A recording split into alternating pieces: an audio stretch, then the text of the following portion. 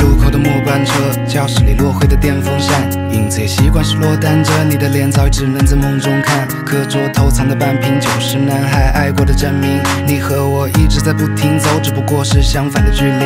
你送我的水瓶我会带，在球场上让我杯盖。希望你没有看到，你挂着坏笑的说着我最菜。曾觉得毕业真的很远，它却向我狂奔着到来，两者都需要勇气，无论是告别亦或是告白。分开似乎总是被钉在这六月，天气晴朗的好像能让我忘记疼痛，放不下毕业，握不住纠结，避开的话题太沉重。青春赠送我长大的票，胸口阵痛是想他的药，遗憾最后的合照都没有带着笑。繁华的时空，也要把我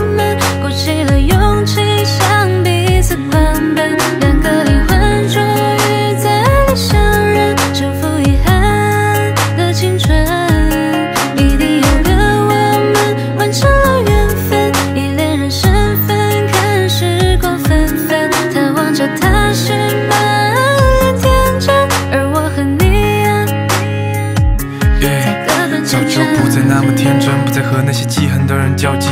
晨雾也从男孩变得先生，那个女孩子的心里留下烙印。一切向往是随风走，想要的档次却没拥有。青春的嗓子被烟冲走，烟超过两次就会先生锈。你不想再一次迷路在没门可是的清晨，老师太即使成绩差但有梦想的新人。世间的爱全来自支持和认可你的亲人，所以没有办法，你只能够努力，哪怕你用了全部精神。曾经的可我，还是没法全部拥有。你的背影在我的脑海中挥之不走。如果有一天我能看到时光的尽头，我希望你能够一直好好的生活。